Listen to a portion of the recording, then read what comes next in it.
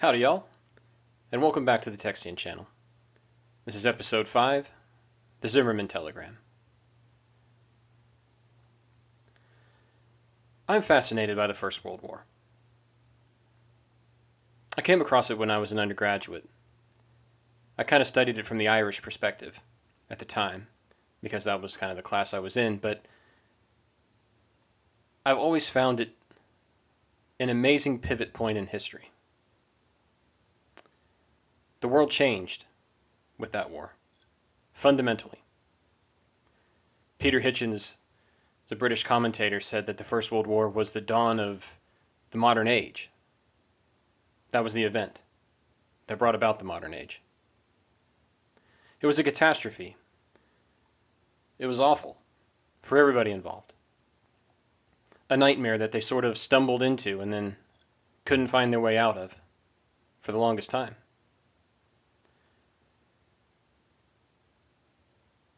It represented the death of the old world, the old order, which admittedly had been struggling for a long time to hang on. But this killed it off and ushered in a modern age. And quite honestly, ushered in the American century and launched the United States as the superpower. And it's that part of it the involvement of the United States in World War I that I want to talk about in this video. The Zimmerman telegram was a telegram that was sent from the German Foreign Office by a man named Zimmerman to a colleague, a counterpart, in Mexico City. We'll talk a little bit later about what was actually in the telegram. But when it was intercepted, and when it was made known to the American government, it set off a wildfire. It kind of touched a light to a stack of kindling that was drenched in gasoline.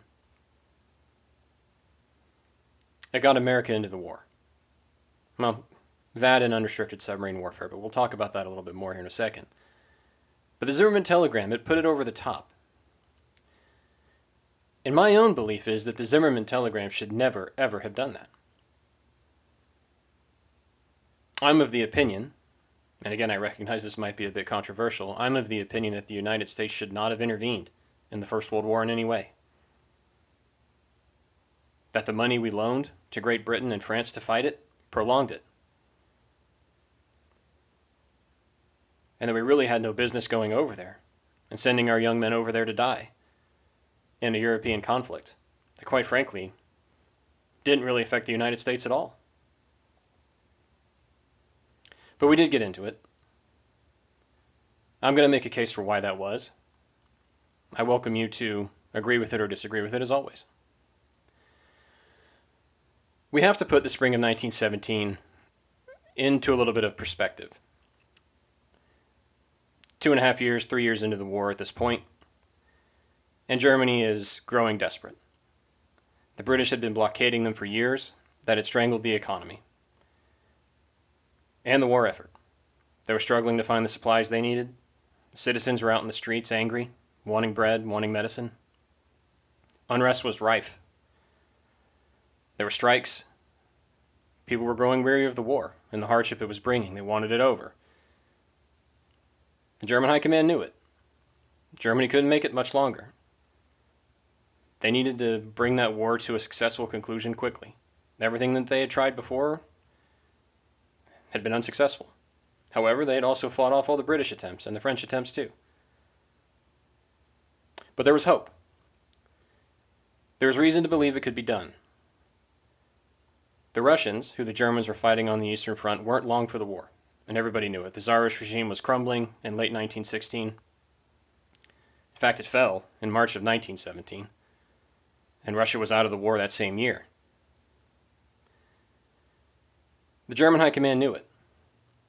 The Russians weren't long for it. And if they could get the troops from the Eastern Front over to the West, they may be able, with that extra manpower, to knock out, or at least have a significant enough victory on the Western Front to bring the British and the French to the negotiation table. Probably didn't have a lot of hopes of actually winning the war outright. But it may have been enough to convince the British and the French not to fight on. But it wouldn't have been enough on its own, or at least they couldn't assume that it would have been. They needed to put up the pressure on the British in their own homes, as they had done through their blockade. Those two blows, if struck simultaneously, in 1917 could do the trick.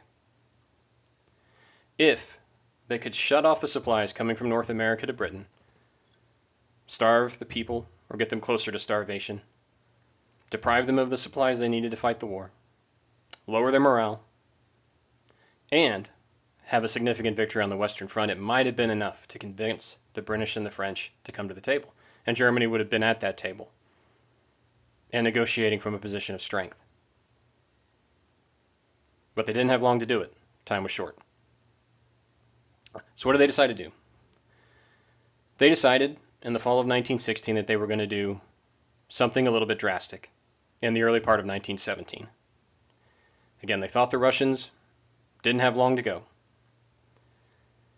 But they also knew that effectively squeezing Britain through a blockade and through sinking all the shipping would take time as well.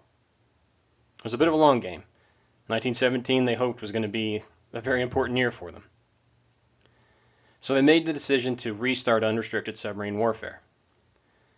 Unrestricted submarine warfare basically means that the submarines of, well, the U boats of the German Navy would sink any ship of any flag anywhere without warning. Now, they had done this earlier on in the war. The British actually had been playing some tricks, um, disguising um, guns aboard what you might call a transport vessel or what looked like an innocuous little transport ship. Convention at the time was that the submarine would surface, make its presence known, warn the captain of the ship that they were going to sink it, give them time to abandon ship, or potentially even bring them on board the submarine. And once they were safely away from the boat itself, it would be sunk. So, what were the British doing? Well, the submarine would surface, go up to that ship that they thought was a harmless merchant vessel, and suddenly the British would open fire on it and sink the submarine. The Germans said, okay, well, if you're going to do that, we're going to start sinking you no matter what. And they did that earlier on in the war. And in fact, the Lusitania was sunk in 1915 with a massive loss of American life because of unrestricted submarine warfare. But we had demanded that they stop it. The United States, that is. And they had. They stopped it. Mainly because they didn't want to bring us into the war. They were concerned about that. And in 1915, yeah, it didn't look all that desperate. Didn't look great for the Germans at that time, but it wasn't desperate yet either. They could afford to do that. As for us, the United States, we were still neutral, and we had resisted efforts to join for a whole host of reasons. Now, Wilson, President Wilson, Woodrow Wilson, I'm not a big fan of his at all, for a whole host of reasons that I won't get into here.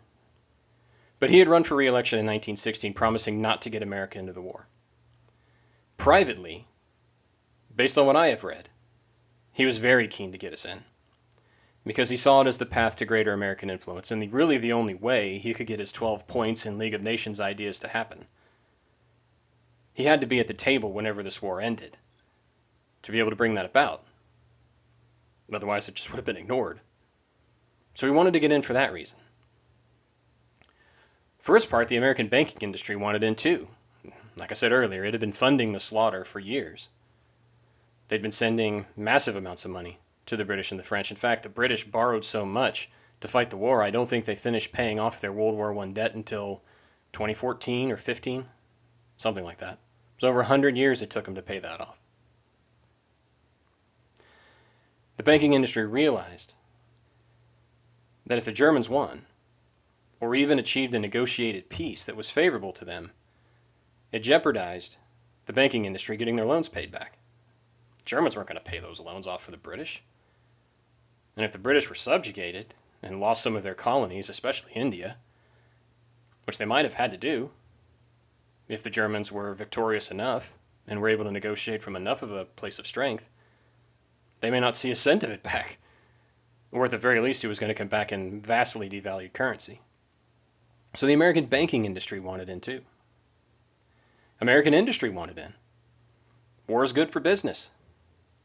It means a lot of government contracts to make artillery shells and guns, uniforms, ships. War is really good for American business. They like it. Always have. The American people, on the other hand, well, they didn't really have any desire to get in.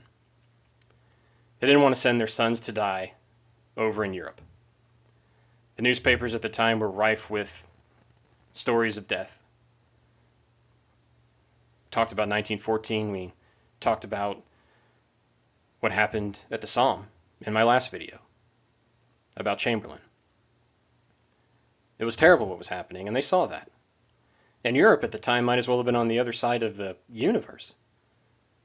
Most American people were poor farmers. Maybe not poor, but they were farmers. They were rural. We were a very rural agricultural country at the time.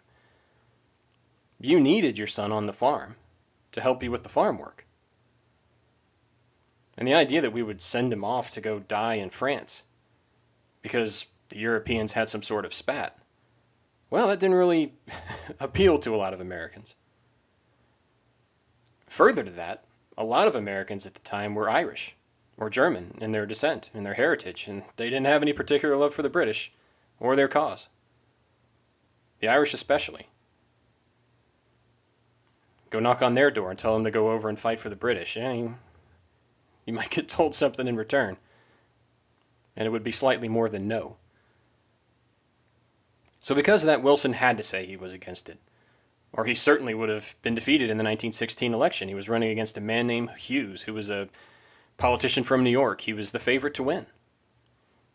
In fact, Wilson's win in 1916 was kind of an upset. They didn't expect it. He had benefited from a split election in 1912 where the Republicans had kind of split their own vote, and Wilson got in. He wasn't an especially popular president. He wasn't horribly dispopular either, but he didn't have some huge groundswell of support. His hold on power was tenuous. And certainly he had the banking industry and other industries telling him that war would be a good thing to try to get him in. He had to weigh that too as he was facing re election. We were steadfast. We refused to go, time and time again. We talked about the fact that they were sinking American ships. They sank the Lusitania. But I think the general sentiment amongst a lot of people in America at the time was hey, there was a war going on. You knew there was a war going on, and you still sailed over there. You made your decision. You took the risk. You knew it was a risk, and you did it. You did it for your own profit.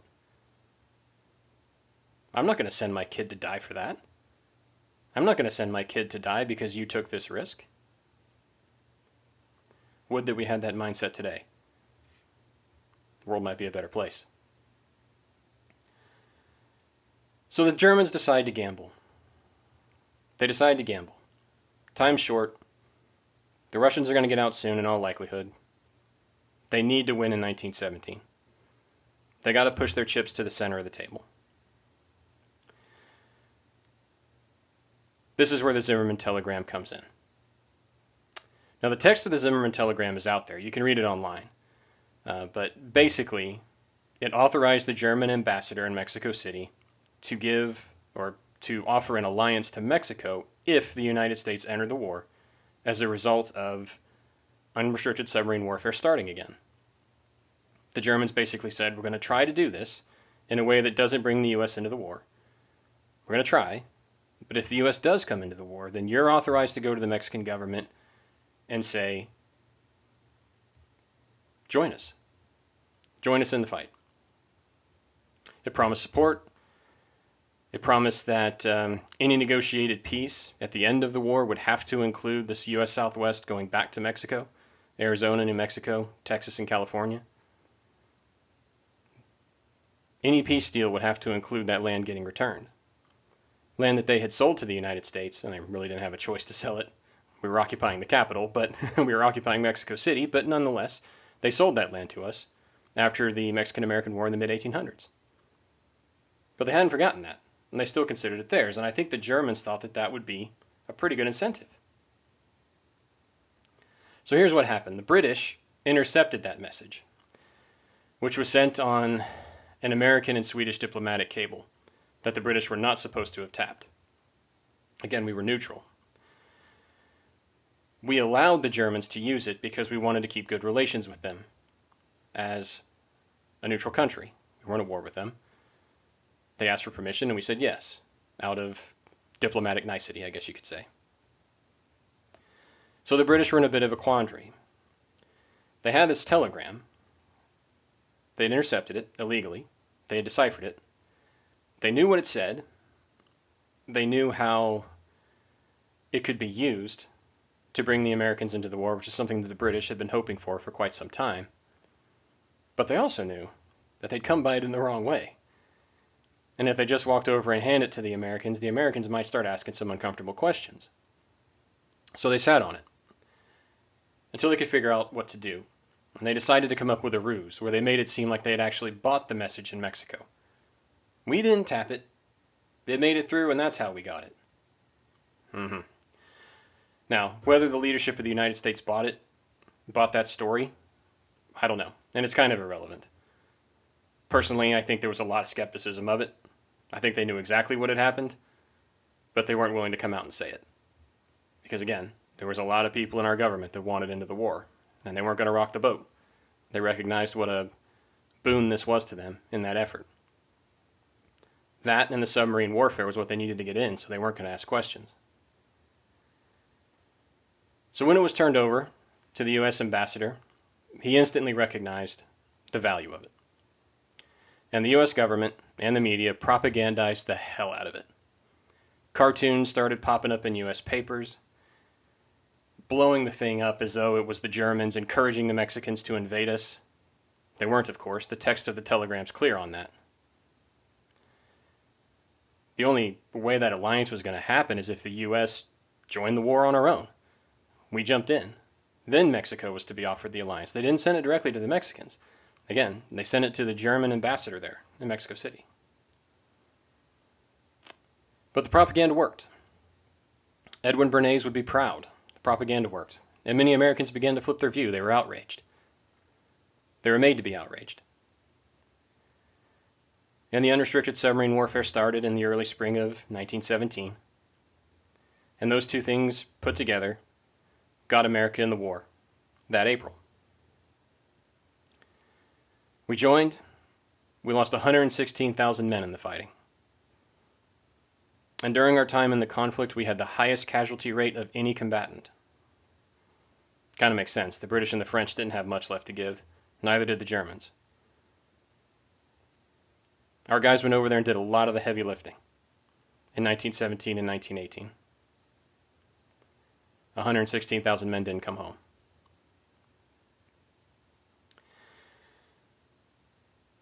Like I said at the beginning of this video, I don't think the United States should have intervened. I don't think we should have gotten involved in the First World War.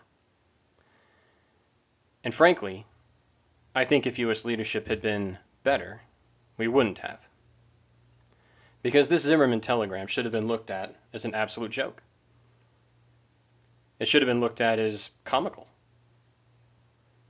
Uh, type of thing that you would deliver as a punchline at a party. There was no way the Mexicans would ever have agreed to it, for a number of reasons, and I'm not really breaking any new ground here. I mean, this is very well known. The Mexicans could never win a war with us. They knew it, and so did we. Now, they didn't like us very much. there was plenty of animosity for a whole host of reasons. But their military looked at it and recognized that the United States was simply too powerful. Mexico could never win the war. So they probably would never have gotten in in the first place. They were in a civil war, Mexico was at the time. The country was divided. Part of the reason they hate us, hated us at the time was because we intervened in 1914 and installed a, a government in Mexico. And there were people in the outskirts of the country who didn't like that government and were resisting it. Now, sometimes war efforts can bring countries together, but the idea that suddenly this deeply unpopular government was going to rally all of these rebels in the countryside to join the cause and not take advantage of a distracted Mexican military to topple the government in Mexico City was laughable. They weren't going to do that. Had their hands full with that. Further, the offer of assistance would have been dubious at best. Germans were broke and everybody knew it. And besides, the British had strangled them to the point that no ships could have gotten through with guns or materiel. The only way they could have brought them was by submarine. And, you know, World War I submarine, you couldn't have loaded it up with too many guns or ammunition or anything like that. There would have been no assistance in all likelihood. They would have had to take us on on their own. And the Mexican government would have known that the United States would never have allowed a treaty sending the Southwest back to be signed. We never would have signed it. Would have carried on the war ourselves if we had to. We weren't going to allow that land to go back to Mexico, not under any circumstances. And the Mexicans knew that. The carrot was unachievable. And even if they did achieve it, even if somehow they did get that land back, what would they have gotten? They'd have gotten a bunch of white, English speaking, heavily armed citizens who had absolutely no desire whatsoever to be a part of Mexico. And they would have had to go up there and try to administer government to them. How would that have worked? I've lived in Texas my whole life. And Texas has changed a lot since 1917, of course, but even today, that would not be a very popular thing. And it certainly wouldn't have been popular back then either. The Mexican government was smart enough to know that. Not only was the carrot not achievable, they probably didn't even want it. It wasn't going to do them much good. It'd Be a lot more trouble than it was worth. So, what should have happened? Well, this is what I think should have happened. This is what I think a responsible political leadership would have done. If you disagree, again, comment, let me know. But this is what I think. I think the minute that that telegram was shown to the leadership of the United States, we should have wired the Germans and politely told them that they needed a new foreign minister. That he had just cooked up, quite possibly, one of the most ludicrous offers in the history of international relations. It was absolutely laughable. And not only that, he had done it in such a haphazard way that it had got intercepted or bought, whatever they believed at the time, and that we had a hold of it. But we would have told them that, or should have told them, that the Zimmerman cat didn't know what he was doing. This was asinine. Now, the next thing I think he should have done was wired the British and asked them why on earth they were tapping our communications lines. And we probably knew the truth anyway. But put some pressure on them. I think he should have demanded they remove them. It was wrong. They shouldn't have been tapped. We were a neutral country. What they did was a violation of international law. Now, we were closely supporting them, of course. But that was wrong what they did. And I think the U.S. government's first responsibility is to look out for the U.S. citizens not the British in their war effort. And look out for our sovereignty. So I would have told them get those taps off there. Don't ever do it again. And then I think you call the Mexican government and say, you know what? We know you had absolutely nothing to do with this. And we want to stay peaceful with you, such as it is. It's a tenuous peace, we know that. But we realize that this is a ridiculous offer that you would never accept, and we're not going to hold it against you. Let's work together to make sure that we can have peaceful relations. That's what I would have done. I genuinely think. And I think that's what a responsible government would have done too. But unfortunately, our government at the time wasn't responsible. They wanted into the war, for the reasons I talked about a few minutes ago.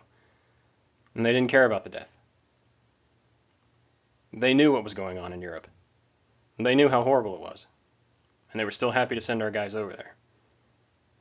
And they were willing to send them over there in part because of this ridiculous telegram.